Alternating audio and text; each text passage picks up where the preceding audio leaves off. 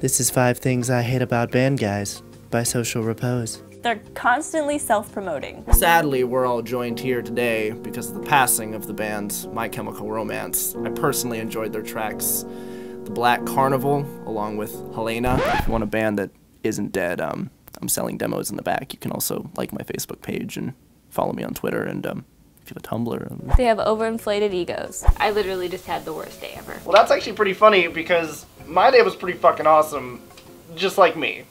they think they're really smooth with the ladies. Yeah, so, uh, I'm in a band. I have a boyfriend.